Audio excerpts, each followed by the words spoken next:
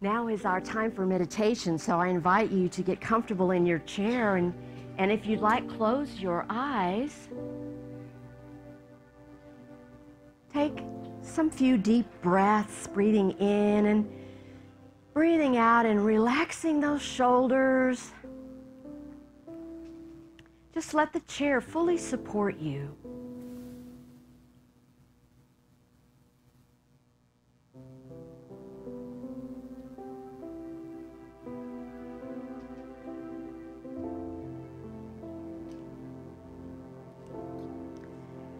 This morning, I'm going to invite you to go back in your memory for just a moment and pick a time in your life that you can recall when you were on fire about something, that you were passionate, you were creating something, you were making something, you were causing some action in your life that gave you great joy. Just remember how that felt. The sense of accomplishment that you felt when you were able to do this project and carry it off to fruition. How wonderful that felt.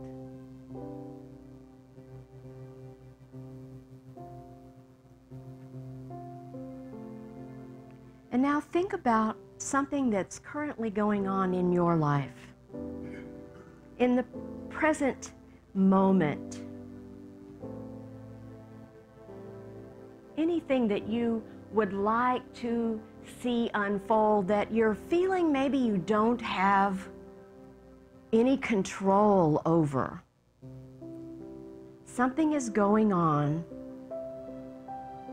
that doesn't quite make you happy.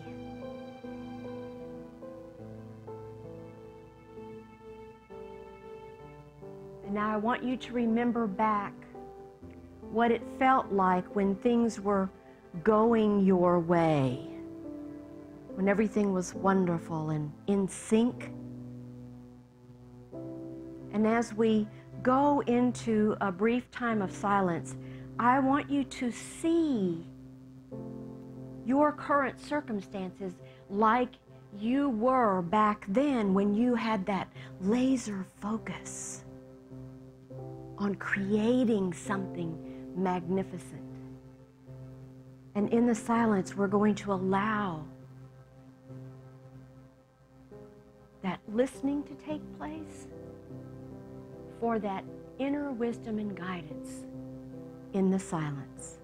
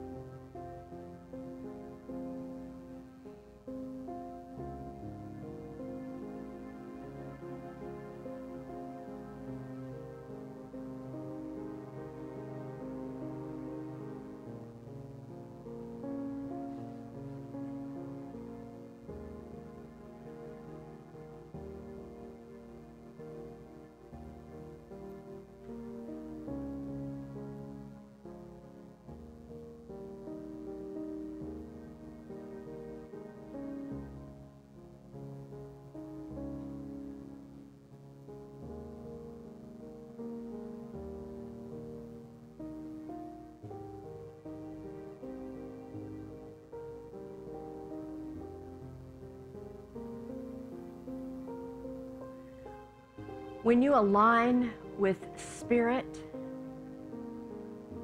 when you are living your five principles of unity, when you are tuned in, tapped into spirit, and you are listening for that guidance, and you're not forcing your will, but you're allowing God's will through you to bring forth that which your heart desires. There is nothing that you cannot create.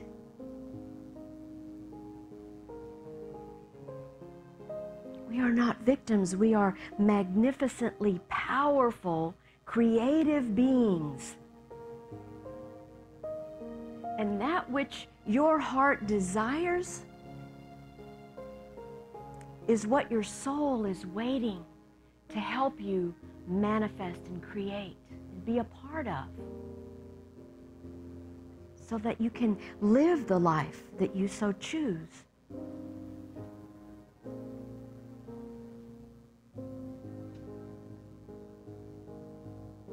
So I invite you to travel back to this place and remember what inspired you to follow through and do what you needed to do to create? What was in your heart? Because whatever it is, you can recreate it again. And you can use that inner wisdom and that guidance to bring forth what it is that you so choose. And I guarantee you that if it's something that you're trying to change in someone else, that you will get the wisdom for how to change seeing it instead of trying to force something upon someone else. You will be guided and directed.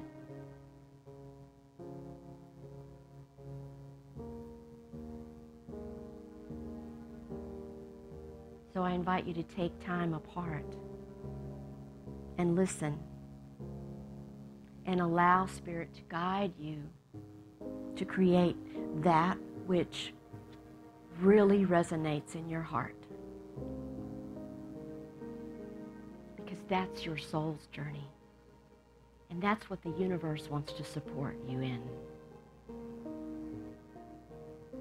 We're so grateful for these teachings and the way that we can see our lives differently and unfold them in a way that works for us and for everybody around us.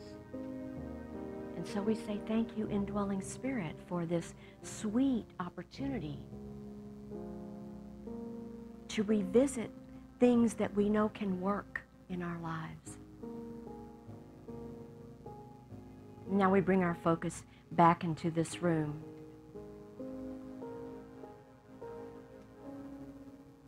With hearts filled with gratitude, we say, Thank you. Thank you, Spirit. And so it is, and so we allow it to be. Amen. Whenever you're ready, just open your beautiful eyes.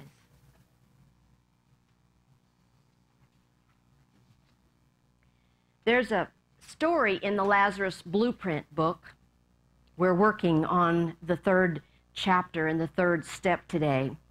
And there's this lady named Ellen and Ellen is a geriatric nurse in a hospital, and she's on the geriatric ward on that floor, and she absolutely loves the work that she's doing. She's really good at it. But there's a part of her that has this dream about creating her own place where she cares for the elderly, like in a house, in a small setting she has this dream of being able to do it so personalized and so, you know, putting the personal touch on everything. And then she gets a promotion in the hospital. And they put her in a supervisory role, take her away from the direct care that she is so wonderful at, and she's suddenly miserable in this job because now she's a paper pusher, right? She's a supervisor. She's overseeing all of her friends that she used to work with. She's not a happy camper. She doesn't really like it. And so, even more, you know, her dream of being able to do her small care home is just so, so important to her, and it becomes more and more of a focus for her. Just about the time that she thinks things couldn't get much worse in the job, she finds this small group that's studying the Lazarus blueprint. And she starts doing the work. And she does step one and she sees things like she's never seen before. She moves in to step two And that helps her let go because, you know, it was removing the boulder was last week. So it helped her let go of some things. But she said it was step three that rang the bell for her. Because in steps three, she got to move into the great expectation, which is what we're talking about today. So this is our third week. Our whole year, we're talking about an inspired life. And we have a, a puzzle, we have a life chart of every aspect of our life. And so this month of March, we're looking at our theme, which is revealing our healing and inner peace. So we're talking about what are the things that we can do that allow us to come into a healthy, whole, well being kind of life. And so today we're focusing on what does it mean to have great expectations? I can so relate with this woman, Ellen, when I'm reading her story in the book, because I was a geriatric social worker for like 25 years before I came here. And I was looking back and I was thinking about all the things that I did when I was so much younger, but I had all this passion about keeping people out of nursing homes. I was doing things, I was writing grants, I was getting transportation for adult daycare centers, and I was opening places. I had this idea that anything was possible, and it was happening. I actually had one brand new building that I got for $1 a year from the city to open another adult daycare center in another part of town. And when they said, oh, you know, only 2% of the people ever get those federal grants for vehicles, but we got one. We got one to go pick up people and bring them. I mean, thing after thing after thing. And then this registered nurse, this geriatric registered nurse came to me and she said, I have an idea. I want to put services in an apartment building like cafeteria style menu services. Now, this is before assisted living. This was like in the early 80s, right? So we created this model of like a personal care home before it even existed. We were we had people in, in a house in two different apartment complexes where we provided activities and grocery shopping and it was amazing. I look back on all of that and I thought, you know, what was the driver of all of that? It was that passion, that same passion that this Ellen had about creating something that was better than the institutional model, right? Creating something that was meeting a need in the community. The thing of it was, we believed we could do it. And a lot of people said, nobody's ever done that before. And we said, but you can have an apartment building with older people renting apartments, and then they just contract with us for the services. So it went into this whole uh, opportunity for people to have choice. And many, many people lived there and never went into the nursing home. They lived in their own apartments with their own stuff until they died. It was wonderful. And so I look back and I think, you know, I was so filled with zeal enthusiasm at that time because I knew it could be done. We believed it, we just did it. So, Caroline Myss, I read this quote uh, the other day. She said, The soul always knows what to do to heal itself. The challenge is to silence the mind. Because, you know, we have our mind and then we have our naysayers that agree with the mind, right? Who say, we, you know, nobody's ever done that before. Or, are you sure you want to do that at this time in your life? All those kind of things happen to us. So this week, we're still in John 11. We're still talking about the story of Lazarus, but we're only in two verses 39 through 41, where it says, Jesus said, Take away the stone. Martha, the sister of the dead man, said to him, Lord, already there is a stench because he's been dead for four days. And Jesus, what does he say to her but, Did I not tell you? Did I not tell you that if you believed, you would see the glory of God? That's the kind of faith. That's the kind of faith we're talking about. That's the kind of conviction that we're talking about. First, he says, Take away the stone. That's what we were talking about last week. Take away the block, the obstacle that keeps you from seeing what it is that needs to happen. In this statement, Jesus makes a denial of the thought about the material conditions that confine life because we're looking in with our five senses, aren't we? It doesn't matter how dire the appearance of, of anything is. I know that some of you have witnessed miracles in your life. We witnessed it in our healing of my husband the first time around when he had stage four non Hodgkin's lymphoma, and they gave him, what, two weeks, you know, right? Complete miraculous healing, 16 additional years. I have seen it. I know that when you change your thinking, you can change your life. Time is not a factor in bodily conditions. When Jesus was told that the body of Lazarus had been dead for four days, his reply was, Didn't I tell you that if you believe, you would see the glory of God? You see, we are all vessels of that glory.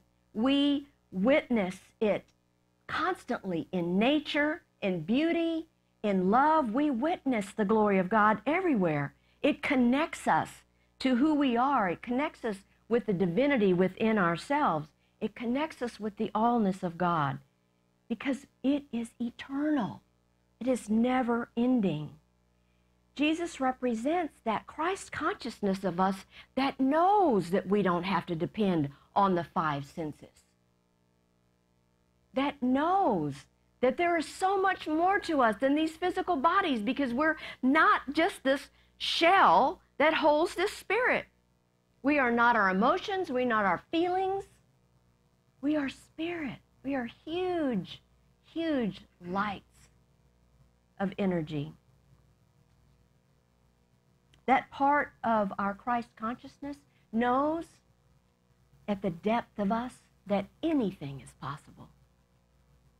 With God, all things are possible. And in this part of the story, Lazarus and Mary and Martha, they're still not really aligned with themselves with God, they're still not in sync because they're not trusting to follow their divine guidance. Instead of placing their faith in God, they're placing it in this appearance, this momentary appearance of death. So they're stuck in the material world. In order to understand how we experience God's glory, we have to first be willing to distinguish between God's way and our way. Because our ego wants one thing, the Christ in us knows better, right? Always. Our faith is boundless.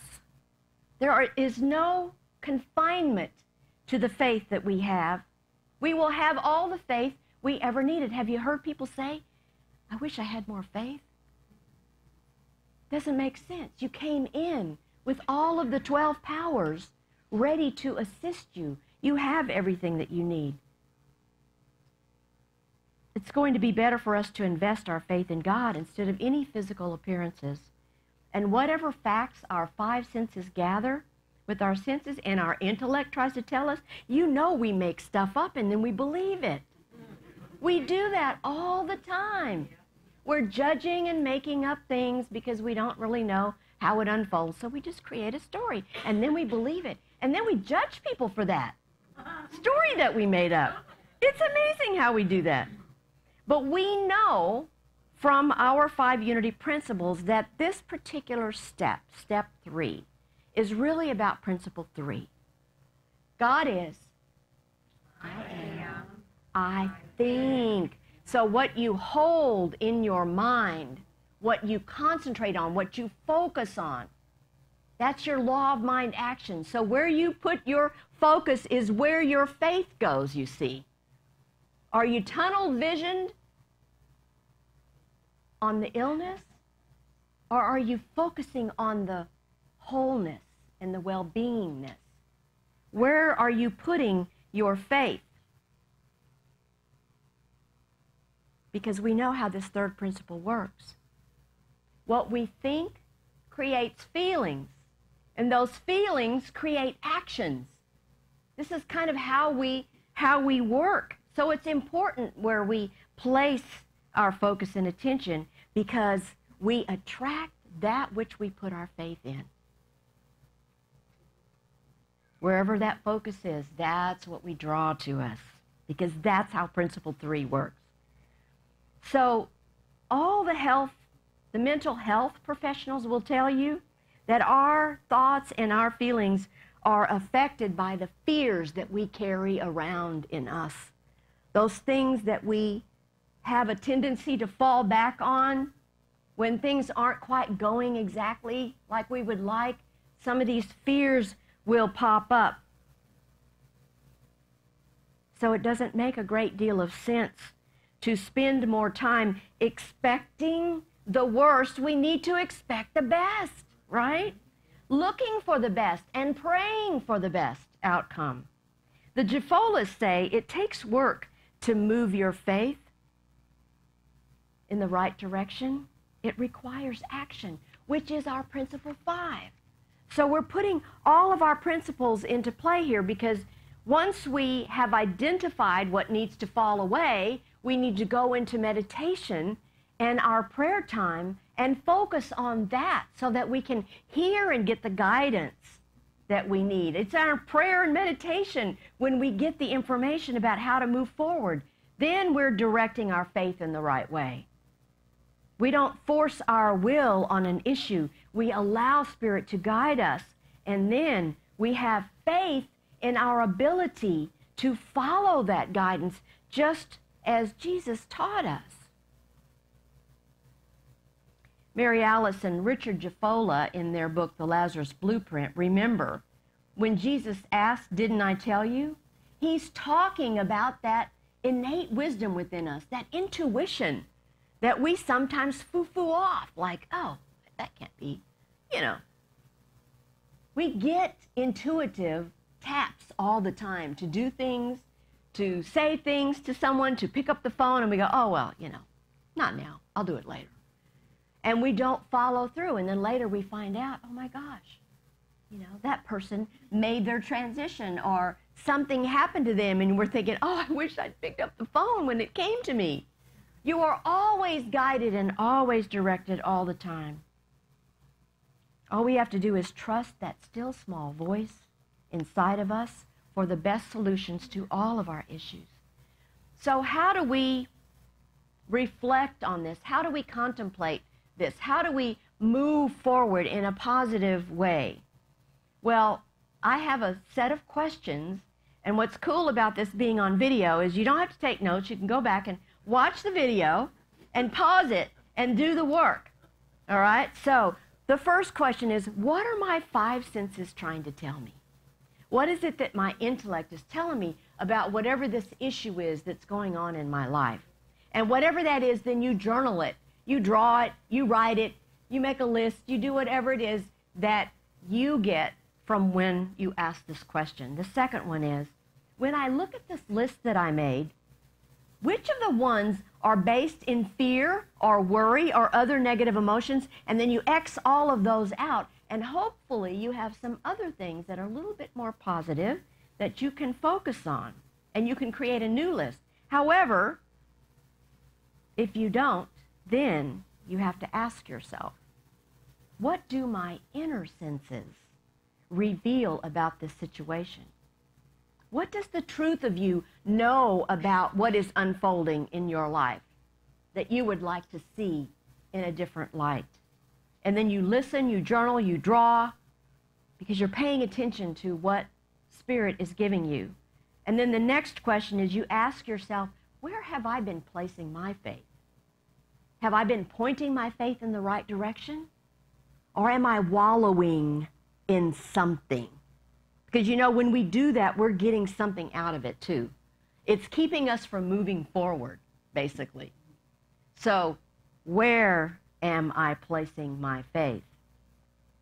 And then write those things which are based only on intellect and facts. And then, what are three things that I can do to place my faith in God and follow my divine guidance. What are three things that I can do and journal and draw And the last one is what is the very best outcome that can occur with this issue? And this is when you close your eyes and you breathe and you listen and you stay in the stillness until you get those clues and cues for how you can move forward. Even if it doesn't happen in one sitting, you can come back to it and ask again, what is the very best outcome that could possibly come from this? And then you journal it and you draw it and you write it. You see, our, our level of consciousness determines the level of our faith. Only we can choose to change our mindset about something that's going on in our lives. No one else can change it for us. We choose where we direct our faith. So, as we learn to point it toward expecting the best, we push beyond the boundaries of our own thoughts and feelings and we move into an expanded consciousness. So when we do that, we're able to see things in a new light. It's sort of like what if upping, Mindy Audlin's what if upping. You don't stay in the level of the problem. You start brainstorming about, well, what if this happened? Or what if that happened? And you start creating these juices in your mind about things that you could do that would make your situation better, at least make you feel better about whatever it is that you're going through. Faith is always going to bump up against its own self imposed boundaries, but we can move into that expanded consciousness if we do this work. So, Ellen, in our opening story, she said that when she was working this third step, she found something on page 83 in the Lazarus blueprint that was like pure D gold to her.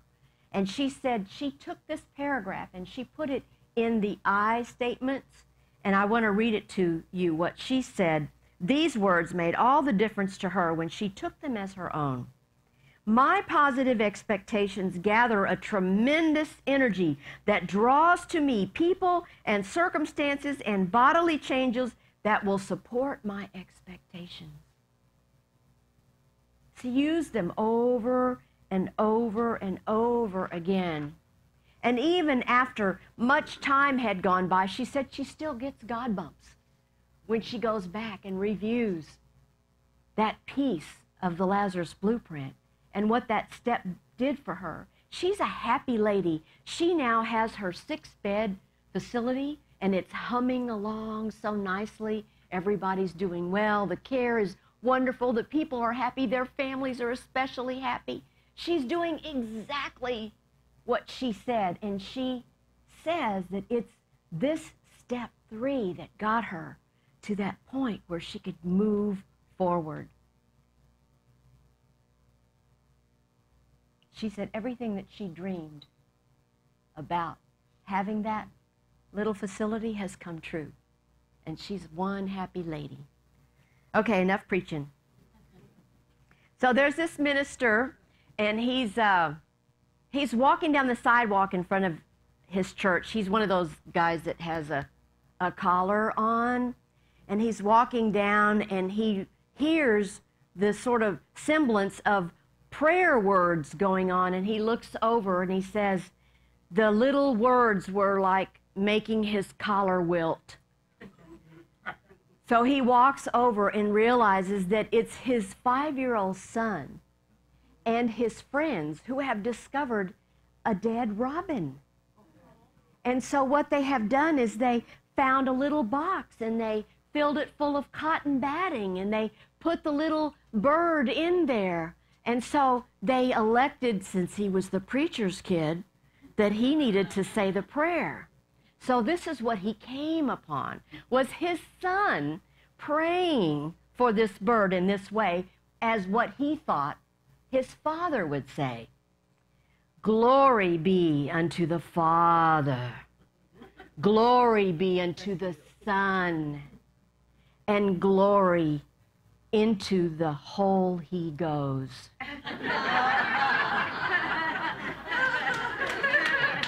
close. It was very close.